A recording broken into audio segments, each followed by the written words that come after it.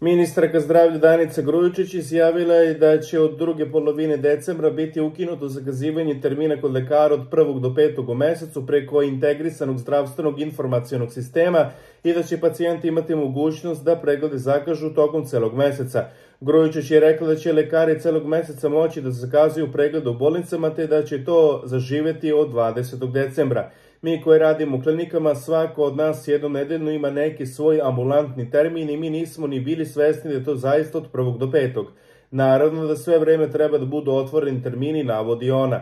Ukazuje da svi lekari specijalisti rade po istim protokolima i principima, te da nema nikakvog razloga da pacijenti traže starijeg ili mlađeg lekara ali ako hoće nekog određenog, onda će možda sačekati nedelju ili dve, ali je važno da doktori u domovima zdravlja ne moraju da gledaju prvih pet dana u ekrane, već da zakazuju kad god mu dođe pacijenti. To će biti u stanju bilo kada u mesecu radnim danima. Ono što je hitno ide u urgentni centar, navodi Grujičić.